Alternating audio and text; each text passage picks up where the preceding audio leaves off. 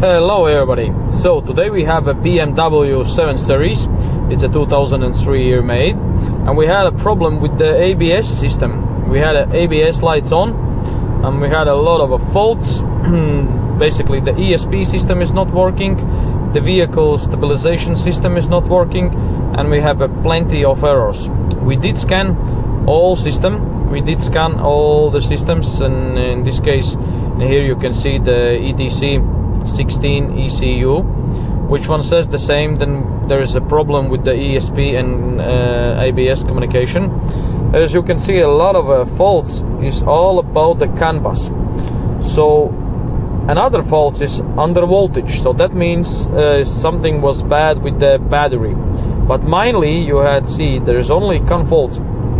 The CAN line missing and things like that. Then can be because of a battery and it, that's right in this car the battery is uh, need to be replaced and recharged.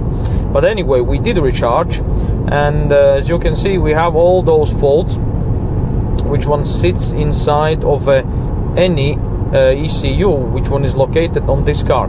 On this car is a plenty ECUs as you can see and they all line to the one CAN line so that's very important. Even in the parking height system as you can see there's just uh, the distance sensor then we had a plenty of other ECU units and the end one is dynamic drive. So what we're gonna do now after the full scanning of all those fault memories before we start any uh, testing we need to clear them out. So just go ahead and delete all faults and all faults will be deleted on the system and we have to wait some time so after deleting the faults is pretty nice view we have zero faults. The all faults is gone but some of them is left. So basically one fault is left. That means that fault is active. But uh, you can always start the car again and test it out and uh, uh, sometime just uh, restart the engine and probably you will get some more faults on.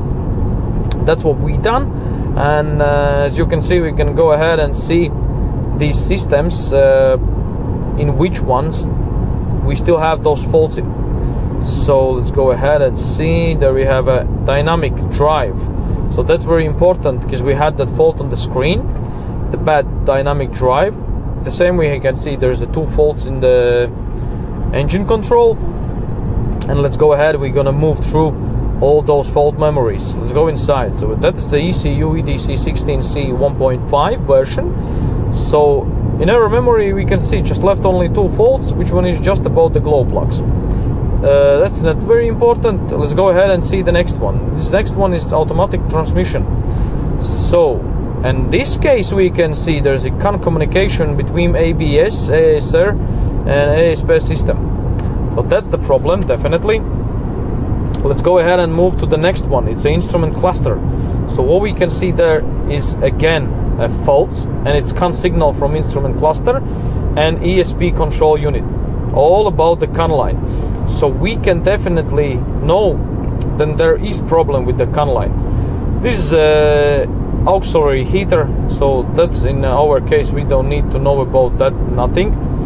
Um, let's go ahead and see what we have in the front passenger door and what that fault is in there. And this is just because of a mirror side position but that's not big deal as well. Mainly thing what we're looking for is uh, all faults with which one line to the ABS ESP uh, stability system. So that's very important to understand how many faults in which ECUs because ABS ESP system is communicate with most of the systems. In this case the network system is not acceptable so I don't know probably this is just out of the system and there is cannot be diagnosed. This is not big deal.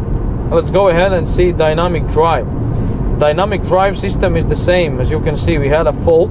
Vehicle leans more stably when cornering.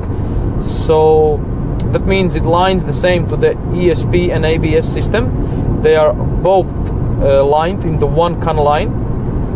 So let's go ahead and see in the drive model 2.1 what we had what kind of faults we have there is some attention and uh, we can go ahead and see exactly the faults and again it's CAN communication with the accelerator sensor The same with the JOF sensor, vehicle speed sensor, and ESP CAN communication.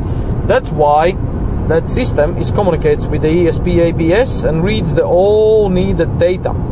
And if the CAN line is bad, cannot done you can't do nothing with it. So let's go and see another system, which one is 3.1 on the dynamic system. There's basically two dynamic system versions. Is uh, how for now we're looking in the diagnostics, and let's see what their fault we have. As you can see, the probably those faults is the same, but the ECU shows that it's the unknown. That's not a big deal. We know what kind of faults they are in the first version. So yeah, four faults in there, four faults in there. Just go back. Let's see what we have in the parking brake system.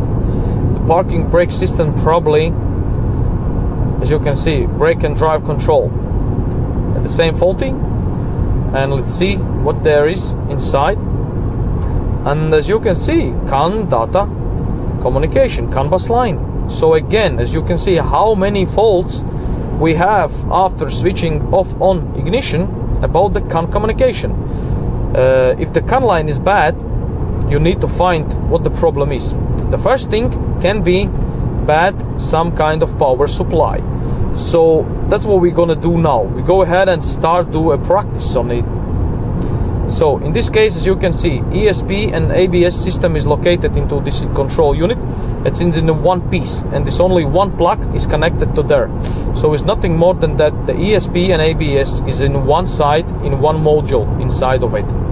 It's pretty good location. So what we do first, if we had uh, another used one, we just connect it and diagnose, can we find it? Because the ECU did not even find it in the first run.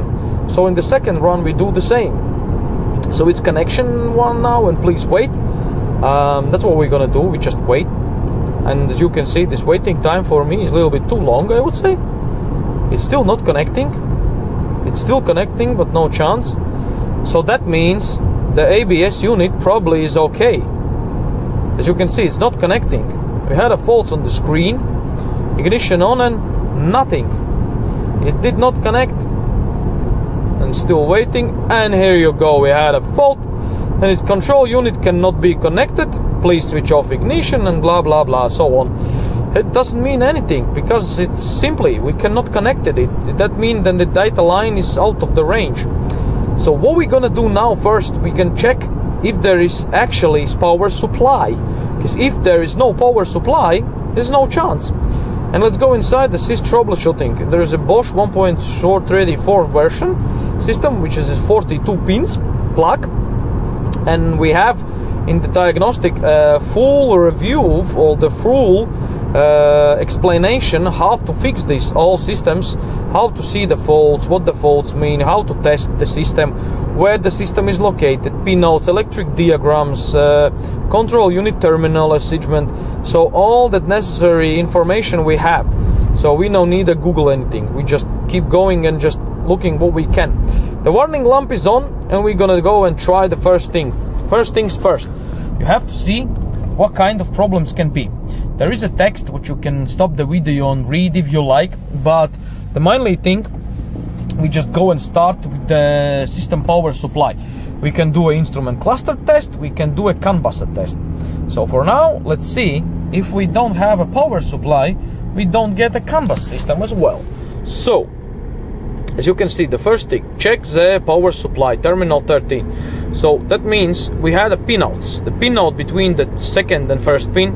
Second pin is plus first minus. six pin is plus first minus. And then 10 is plus and 5 minus. and we need 12 13 volts. So let's go and use some uh, hand gloves first uh, because electric ones uh, I don't think is good with the gloves. So the best thing is just use these lovely Liqui Moly. It's not a not a promotion it's just uh, things what what I using. And it's very good and handy. You have like uh, invisible gloves on. So your hands stay safe and you can wash them off pretty easy. So let's go ahead. Let's unplug the plug of the ECU because of course we did check and the ECU is okay. So the ECU is not bad how we supposed and now we're gonna go ahead and test it out. We already plug in the some pins on. Here you go we can see on the back is a plus and minus connection ports. So we connect these ports plus and minus to the tool. You can use actually any test tool like a multimeter on the or the tester it doesn't matter. Only in this system we have all in one. So we plug it into the plug those pins which one been uh, shown before. So the first one was the minus and the second one was the plus. As you can see there yeah? Those are bigger pins. And uh, these pins have to supply with the nominal power of uh, I would reckon 12 volts. If the battery is charged and if the battery is okay you have to check that as well. And uh, we are testing now the pins uh, if there is a voltage. So uh, connecting leads to the pin second and two. Uh, what the fault is? I don't know what that is. Um, oh yeah we probably need to do a calibration. Yes that's right. It's a calibration so we cannot pass that actually. There's no chance we need to calibrate so let's go ahead and push the calibrate button. It's usually all stuff like that. You just go ahead and uh, take those two pins. You need to connect them together. It's probably on the all multimeters. You just connect them together the plus and the minus and you go ahead and do a calibration mode. In the calibration mode the system will recognize the zero point. You go ahead and press the calibrate. It calibrates uh, the tool. You had a zero volts. So that means you had a good testing results when you will do it. As you can see now the 13.04 volts. So this is a green. In green it means you have a nice uh, nice reading the same we're gonna do on the next ones. So we need to touch them all. So I had a pin one and that pin was uh, quite not sure now in the video but uh, that's because I'm reading the voice on the video. Is a 6 and the 1 the 6 is a plus and 1 is a minus. Do we have the same? Yeah we have the same. This is the same connections. Is the same and let's go ahead and now I replug it. How I understand that was like uh, between pins 10 and uh, pin uh, 5 if I'm okay. Because the 5 was a minus and 10 was a plus. You can you have to choose the right pins. You must not damage anything. So that's very important. You have to be clearly good on that. And the reading should be the same. And it did the same actually. So what that means is uh, we have all system with the power supply all is good and there is no problem with the power supply. Um, the same we can check those fuses but the fuses is okay. So we can just keep reading the text. You can pause the video and see the text if you like. As you can see what we can do next is just test the pluses. Probably we don't have a plus and you can see there's a pin. The last pin I would reckon is it? Is it the last pin is the last pin yeah. Yeah it's uh, not the last pin actually. It's 27 pin because the last pin is 42 so yeah engine switched off uh, all loads off and uh, we need get reading. 12 I would say the same 12 or 13 volts anything can be good. And uh, minus is on the on the yeah electric ignition lock defective yeah these problems can be if their voltage is not reached. But actually as you can see you can read the text and do whatever you like. Probably in your case will be something different but in my case all is okay. I got good power supply so that actually is not a problem. And uh, i would say i would say then in this case all is good. So what we can do next is uh, looking for a CAN bus line so in CAN bus is a little bit different because in CAN bus line you need what you need in CAN bus line you need to check the CAN line. Is the CAN line will be okay? It's uh, pretty interesting because uh, you can see there's a data transfer between the systems. You need to switch off ignition definitely. And the CAN bus line is uh, tested by the oscilloscope. And uh, first thing by the voltage as you can see. The CAN line as we all know is about 5 volts and we need to test those CAN lines they all is pinned. As you can see there is another thing we need to test the uh, resistance of the CAN line. As we all know, the CAN line resistance is 120 volts, something between that. And uh, in the CAN line, we can test that voltage. And as you can see there under the car on the, I would say, right hand side, you can see there is a, a harness and there is a resistor uh, pinned into the special plug so uh, what you need to do, you need to find that plug. Plug. Uh, in my case, uh, I already did find it, and uh, you need to see it's located uh, front right wheel housing, and check terminal resistance of a component CAN data bus. Ignition, of course, off, and we need to measure our winding harness then terminal terminal two. It's terminal 2 and the terminal 5 between that should be uh, 115 125 ohms. Um, let's go ahead and we're gonna test it out. We need to change of course the voltage. Let's go see I will show you where the plug is. How I reach it? Pretty easy. The plug is located just under the under the wheel housing. Yeah it's it's accessible in my case. Here you can see this is the CAN line wires. Uh, they coming from the CAN line and in end of it as you can see is a resistor. Inside of this little cap is 120 ohms uh, CAN line resistor because uh, data cannot be exceeded between the ECUs if you don't have a resistance on the end of the CAN bus line so the resistance uh, we have and we're gonna test it out. We just use a special pins to pin in and see can we can we can we read the resistance. And you see the resistor is okay. It's 120 ohms. So that means we no need to deal with that because that is uh, okay. So what we need to do next in the diagrams was set can you test it between pins second and pin 5 as you can see here. So we already plug it in and let's go ahead and test it out. And as you can see we already have a problem.